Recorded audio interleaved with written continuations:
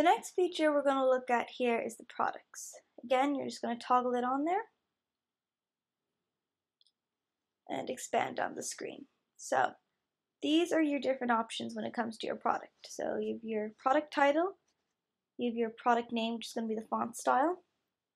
These are all done before in your text styles video. So you can just select different ones that you want. The next one, we're going to need another sprite again. So this is going to be the more info sprite. And again, when you're uploading these, just make sure that they are divisible by 4, as we have four different states in this. So let's just try and find a button here for it.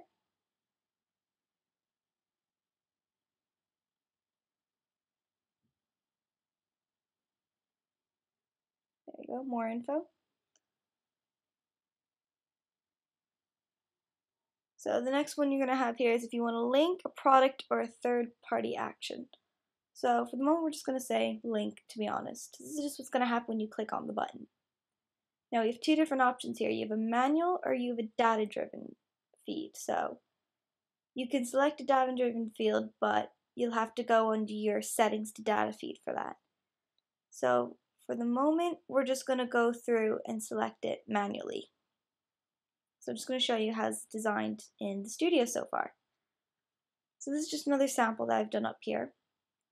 So as you can see there from the studio, you now have a product option. So you're just going to, going to click and drag to make your product.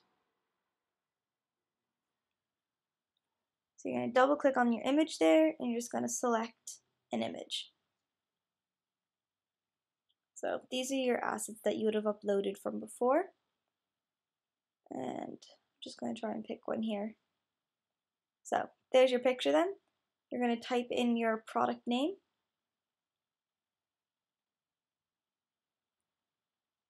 So just red shoes. And then you have your more info button. So as you can see, there's now a link option there. So the link option, you're just going to type in whatever website you want it to go to. So we're just going to say shoes. And then you have three different options here. So if you wanted to open in that same one, open a tab, open a new window, or you can just close the link, remove the link. So those are your options then, and that's just a sample of what it will look like. So there's your product there on your page. When you click the button, it would give you a real website. Product here. So we have the settings here if you want to add in a description, a price, whatever other things that you may need for your product. Just click select.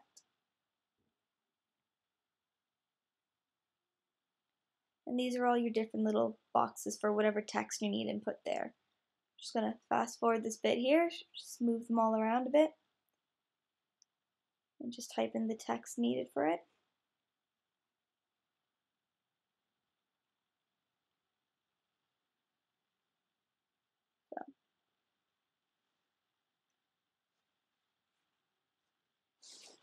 You just fill in your boxes then for what information you need on your thing.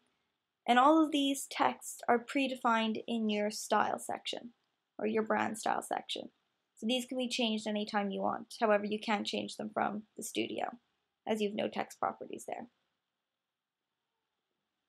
And that's about it then on products. Um, it's very simple, very easy to use, and you can always go back to your content template to fix any modifications.